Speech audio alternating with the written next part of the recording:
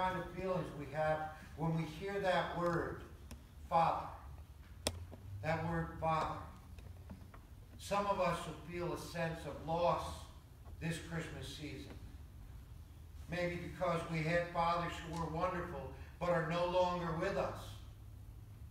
And maybe for some others because we have unfulfilled longings for the kind of father that we never had.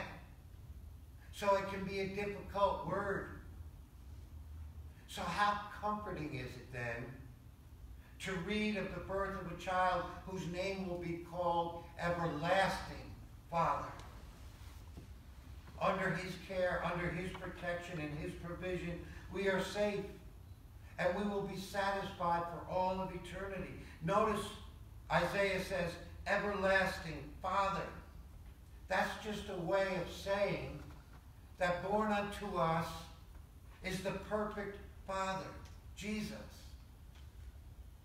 Many people have negative images of God. They think of God as being some impersonal God, God that is, you know, the Star Wars, may the force be with you kind of thing. Some people think of God as a powerless God like some old man with a big white beard sitting in a rocking chair somewhere. Some think of God as an irate judge with no compassion, just waiting to condemn people to hell. But look, look how Isaiah describes Jesus as my perfect Father. Last week, we learned that Jesus was God in the flesh. And Jesus even affirmed that information for us well, here on earth when he said in John 10:30, I and the Father are one. And here Jesus is described as our everlasting Father. You see, that tells me that God is not a power, but a person, a personality. And I like that because I can relate to a person a little girl was having trouble going to sleep in her room because there was a thunderstorm outside. So she ran into her mom and daddy's room and asked to sleep with them. And her dad said, honey, just go back to bed. God is in your room with you. She said, well then, how about I sleep in here with mom and you go sleep with God? just because we can't see God does not mean that God is not real. God came to earth and put on skin. And God's name with skin is Jesus. And Jesus is our everlasting Father. We can read and hear that scripture for years and never get the meaning of it because we don't take time to think about it. There's only one thing wrong with Jesus as our everlasting Father. Too many people, as I said, for them the name Father is not a positive name. It tends to stir up memories of an unhappy childhood. Some earthly fathers are very inconsistent. They can be very selfish and moody and just downright, flat out mean to their children. You've heard it said, you just wait until your father gets home. Now, dads, I want to caution you. Be careful of the language you're giving your children of the name that you carry as father. And that is why it's so important to notice what Isaiah says, that Jesus is our everlasting Father. Because you see, by calling Jesus everlasting Father, Isaiah is telling us some important facts. And I'm going to just give you those facts quickly today. The first fact is Jesus is the perfect Father. Everything that you have ever dreamed a father could be, everything that you ever wanted from your relationship with your earthly father, Jesus is and will be for you. Your Messiah your Savior will forever be perfectly father-like in the way that he shepherds and leads you. In Jesus, we have a perfect Father forever. Forever. And sadly, the word Father doesn't always bring to mind somebody who shepherds and affirms and stays close. Instead, it connotes adjectives like distant, aloof, passive, absent, unreliable, selfish, uncaring, and cruel. Even among Christian families, far too many children experience emotional indifference and self-centered neglect from their dads. Yes, that's sad, but yes, it's the truth. So it is important to understand this concept because that is not the case with Jesus. Jesus, your everlasting Father, came down at Christmas, right, to a broken and sinful world to fill our hearts with heaven's love and to teach us to love one another that way. Jesus came to make us sons and daughters. We were his enemies, and Jesus came to make sons and daughters out of his enemies. This is the Father's gift to us at Christmas. I'm going to tell you, on earth, no matter how good our fathers might have been, they were not perfect. Isaiah is saying Jesus represents the perfect Father. Look at Isaiah 9, verse 7. He will rule with perfect fairness and justice. The number one complaint about fathers is their inconsistency. But Jesus is perfectly consistent.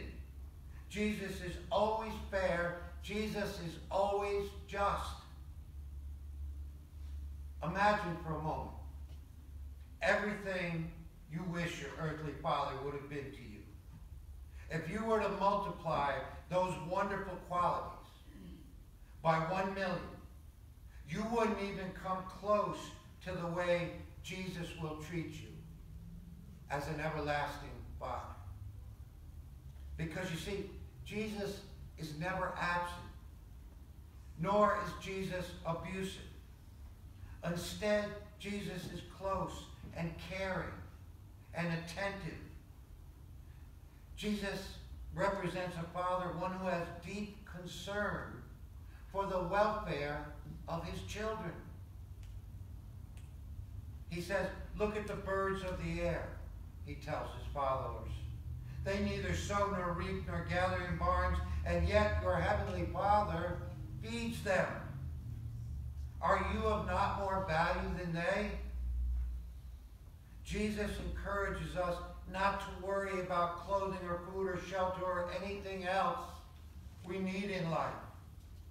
Because Jesus assures us that our everlasting Father will meet our needs as long as we will put the time and the energy into pursuing God's kingdom and into pursuing God's righteousness. I'm not saying that it is easy for every Christian to embrace, to embrace the concept of God as a heavenly Father. It's not. And I know that. And this is where it is so important to remember that Jesus and the Father, his heavenly Father, are one God. So the face of Jesus is the same face of God. Jesus is our everlasting Father. And when we need an image of a close and caring and attentive parent, we can look directly to Jesus. And I think that's good news. I know it's good news for some people, and I've had people that come to understand that concept and have found a new relationship and healing. Look, when Jesus is having dinner with his disciples, one of his followers, Philip, says to him, Lord, show us the Father, and we will be satisfied. And Jesus says to him, Have I been with you all this time, Philip, and you still do not know me? Whoever has seen me has seen the Father. The Word of God comes to us more clearly through Jesus, the one who is the flesh and blood appearance of God in human life. In the beginning was the Word, says the first chapter of John. And the Word was with God, and the Word was God. And the Word became flesh and lived among us. The Word is eternal. The Word of God, the Word is God. The Word lives among us. That is amazing. The appearance of the Word of God in human form shows us that Jesus and our everlasting Father are one and the same. Here's the second fact. Jesus wants a relationship with me, with you. Since Jesus Christ is a perfect Father, that means that he wants a relationship with us. God has made it possible for me to become a child of God. And some might ask, well, if Jesus is the perfect Father and he created us all, then aren't we all God's children? Well, that depends on what you mean by child. If you mean, did Jesus create everyone? The answer is yes. But we all understand, I think, that there is more to being a father than just procreation. Just because you may have procreated a dozen children doesn't mean you've really been a father to them. So then, how can we make sure that we become a child of God? That we become God's children? I mean, if God really desires and really wants a relationship with me as a father, then how can I make sure that I become God's child? It all begins with a relationship. Look at Galatians 3 26. For you are all children of God through faith in Jesus Christ. It is faith in Jesus that gets you into the family. There is only one way to start a relationship with God, and it is through faith. John 14, 6, we hear Jesus say, I am the way, the truth, and the life. No one comes to the Father but by me. And John chapter 1, verse 12 tells us that it takes two things to become a child of God. It says, But as many as received him, to them he gave the right to become children of God, to those who believe in his name. Did you see the two parts? Did you catch that? Believe and receive. If you have never done those two things, please do. Maybe today. Fact three, our relationship with Jesus is never ending. And this, for people who lost loved ones, and for us who seek eternal life and have questions, is so important. Our relationship with Jesus is never ending.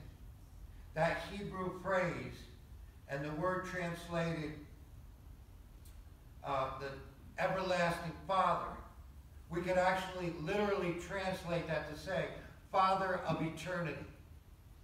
And the Hebrew word translated everlasting has the concept of without end, never ending. The next verse, Isaiah 9 7, then you heard, says of the Messiah, of the greatness of his government and peace, there will be no end. So, as the everlasting Father, the Messiah will be a Father. And his fatherhood will be without end. Isn't that good news? I think so. What do you think about that, never ending, consistent. God's children never have to fear being disowned. I know that there's a lot of debate about whether or not a child of God can ever lose their salvation. Okay? Some say that if a believer sins, they lose their relationship that they once had with Jesus. But you know where I go when I want to know the truth? I go to Jesus. And I find that in the scripture. And what does Jesus say about that? Well, in John 10, 27 through 30, we see that he says, My sheep listen to my voice. I know them, and they follow me. And I give them eternal life. And they shall never perish. No one can snatch them out of my hand.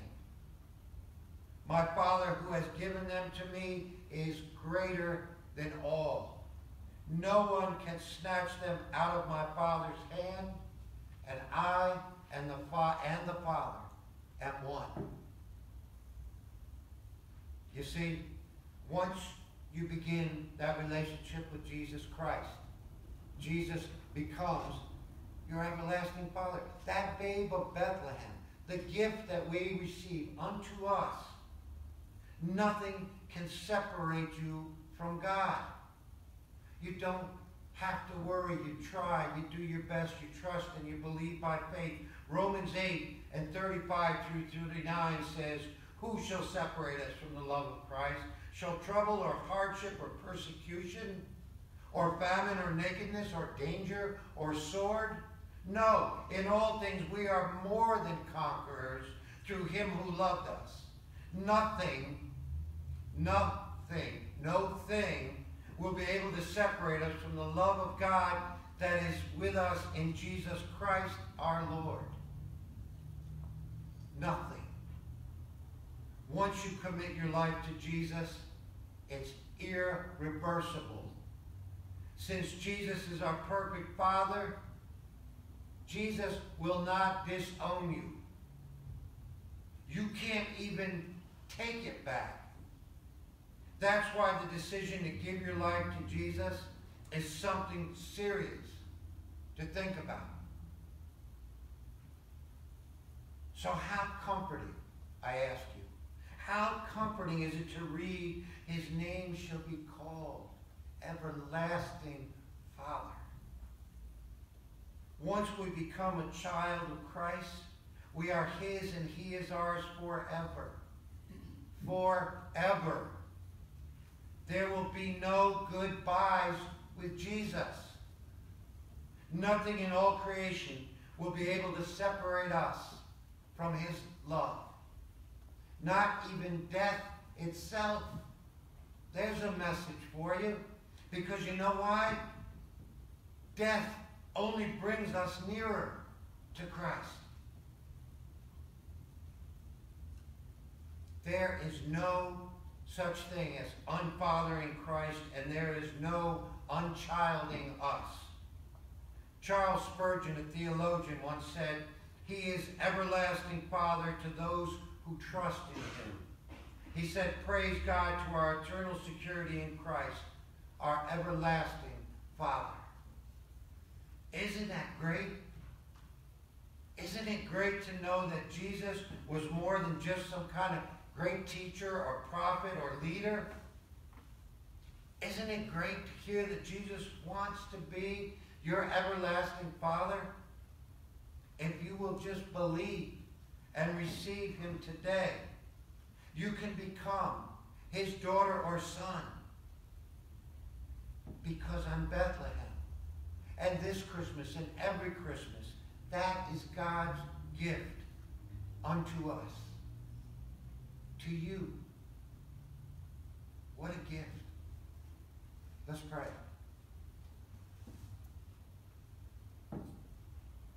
Do you feel close enough to God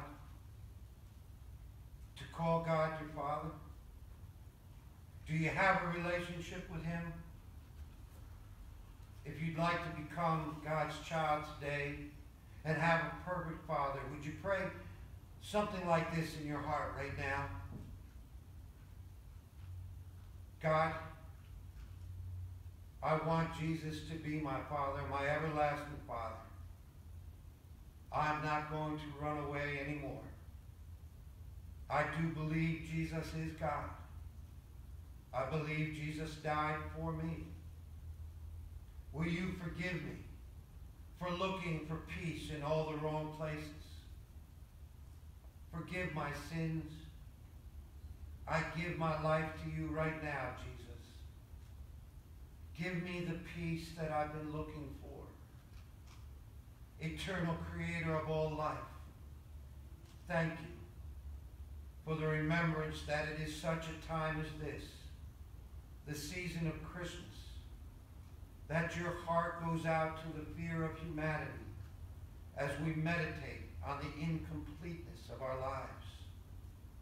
And we are reminded that unto us a child is born, and unto us a son is given, and his name shall be called Jesus.